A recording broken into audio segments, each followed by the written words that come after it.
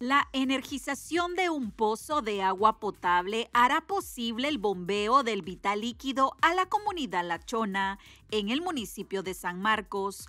Los trabajos son ejecutados por Enatrel en coordinación con Enacal. Se está poniendo al servicio una línea trifásica de la cual anteriormente era monofásica para la alimentación de un pozo de Enacal. Estamos ahorita avanzando en el intercalado de postes. Tenemos proyectado 22 postes a intercalar, esto con la finalidad de soportar lo que es el tendido de la línea nueva trifásica que se va a poner pues en servicio. Se está proyectando casi 3.5 kilómetros de red que se va a atender.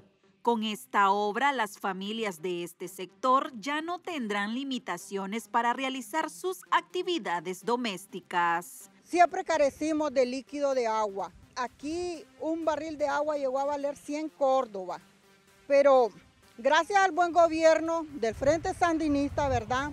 Que siempre nos ha apoyado. Ellos nos mandan gratuitamente las pipas a dejar el agua una vez por semana bastante difícil porque usted sabe que nos dan tres barriles por, por familia y eso no da, pero sin embargo pues tratamos de sobrevivir.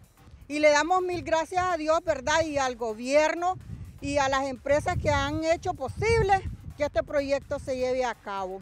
Hay bastantes pequeñitos en la comunidad, ¿verdad? Que sufren mucho de diarrea por, la, por los depósitos de agua.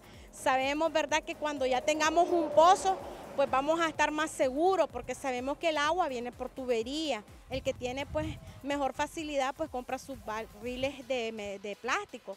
El que no tiene pues nos acomodamos con barrilitos de metal y es ahí donde nosotros corremos el peligro, ¿verdad? Muchas enfermedades porque ellos sueltan sarro.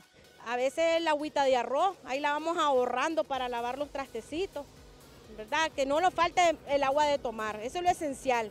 ¿verdad? Que eso sí, nosotros lo agradecemos mucho, ¿verdad? A nuestro gobierno porque eh, la agüita no nos falla, aunque sea tres barrilitos, pero ellos siempre nos abastecen.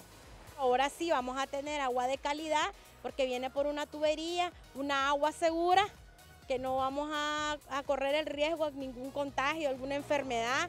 Se lleva un 70% de avance.